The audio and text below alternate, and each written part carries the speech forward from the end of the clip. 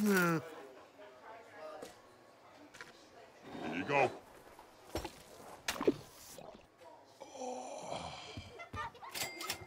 Next. I'll take two vanilla jumbos with extra peanuts and no cherries, please. Wow. Guess I should get the junior size.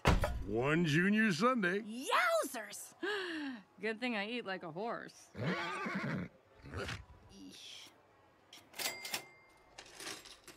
Grab a seat, don't break nothing. We'll bring it to you.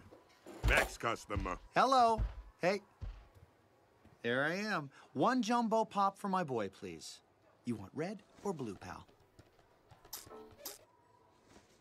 He can't eat all that. Why don't you pick something else? Well, ah, boy, I'd, I'd, I'd rather not pick something else. He's, he's been looking forward to this for weeks. Listen, Fox. He's not gonna finish it. It's gonna drip all over the place, and I'm gonna have to clean up your kid's mess. Pick something different, or go somewhere else. You're holding up the line. Whoa, whoa, whoa, whoa. Excuse me. Now, could we go somewhere else? Sure, but we have come here. Why? Pachydermiopathy. He thinks he's an elephant. Do not smirk, please. He has lived with this affliction his entire life. Every day is a battle. Buddy, give us a little toot. Is that not adorable? I mean, I am not going to be the one to tell him what you're feeling is wrong, that you're just a fox, because that would break his sweet little heart. Do you want to break his sweet little heart? Fifteen dollars. Oh, thank you. 15 big ones coming right up.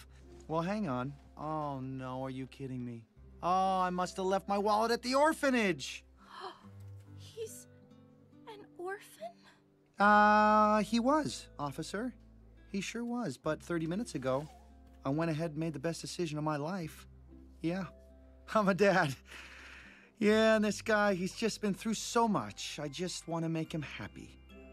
But, um, I'm sorry, buddy. Gotta be about the worst birthday ever. And it's his birthday? It is, the big four. Yeah, Doc said he'd never make it past three, but, but, um, he's my little fighter. Wait. Sir, if it's his birthday, shouldn't he get it for free? No free jumbo pops. But he's no, no, no, he's right. If there's one thing that I want to teach him, aside from the ability to speak, it's that in Zootopia there are no free handouts. Even for this sweet, helpless orphan who is blind.